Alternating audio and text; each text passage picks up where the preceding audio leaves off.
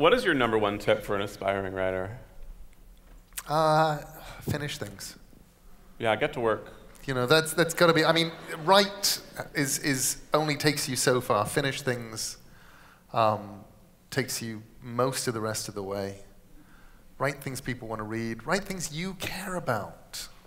Um, don't, you know, I get, I get puzzled and lost when people start asking me questions about what they should be writing for the market or whatever. There is no market. Nobody, there's nobody in the whole world of, of marketing ever would have woken up one day and said, a series of unfortunate events is exactly what the world needs. Yeah.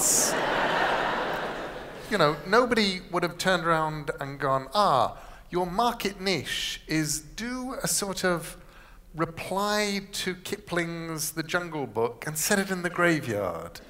That's not, you know, things like that happen because somebody wants to tell a story and because you have an idea and because you think you can tell that story better than anybody else. And it turns out there's room, which is, I think, so inspiring to me.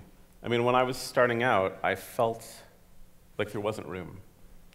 Um, I think it's something that our characters feel in books that we do, that they feel shut out.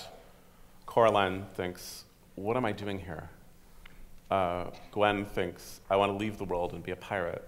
And I think that it speaks to some uh, alienation that you feel when you're starting out as a writer. You think there is literature, and there's, there's the stupid scribbles that I'm doing, mm. and there's no room for it. And it turns out there is. It turns out that the world of literature is infinite and wide, and I'm forever grateful to be part of the adventure where people come to a dark room and talk about it. Thank you very much. Thank you so much.